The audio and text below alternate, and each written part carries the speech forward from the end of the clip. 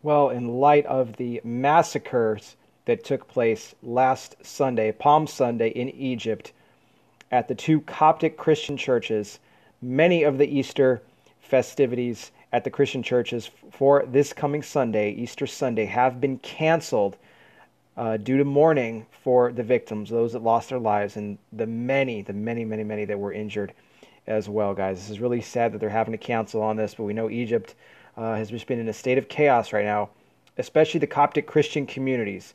Uh, we need to keep them in our prayers, guys. They are being affected by terrorism just as much as those in Iraq, just as much as those in Syria, and many other countries are.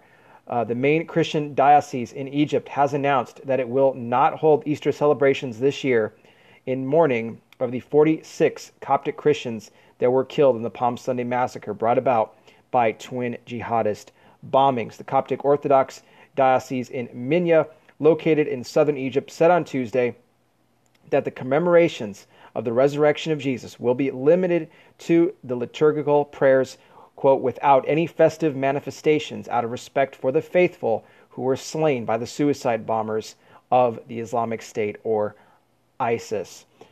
The Minya province has the highest Coptic Christian population in the country, and Christians there traditionally hold Easter vigil services on Saturday evening and then spend Easter Sunday um, with large meals with family visits and other celebrations as well. Christians in Minya have lived in constant fear of attacks from the area's large, large Salafi Muslim population. In certain local villages, the faithful celebrate Mass before a cross drawn on a wall, making it easy to erase quickly in order to avoid attacks. I mean, can you imagine having to live like that?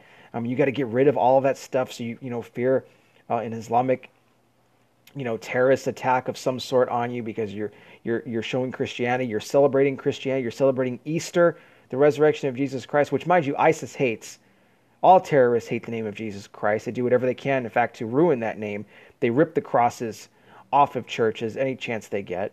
That's what they're all about. We know that. We know these are pretty much nothing more than devils that are doing the work of Satan himself promoting this through radical Islam, mind you, as well. Okay, guys.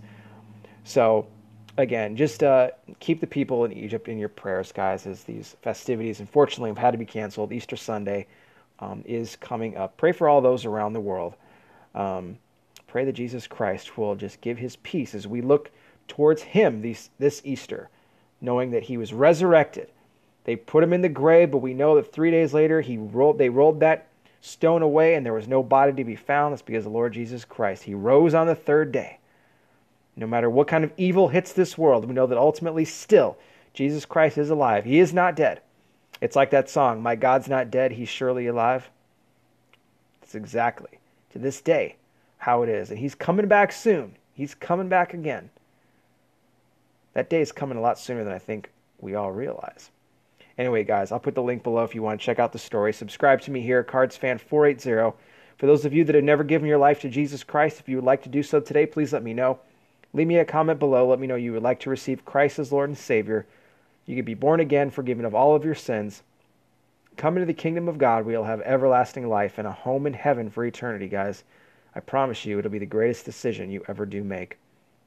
I'll continue to keep you guys up to speed here on all the latest breaking news, current world events, and Bible prophecy updates as we get closer and closer to the return of Christ. Thank you so much to all the new subscribers that have recently joined up as well. I greatly appreciate it. I'll be back with more, guys. Take care. Be safe out there. God bless each and every one of you, and I'll talk to you soon.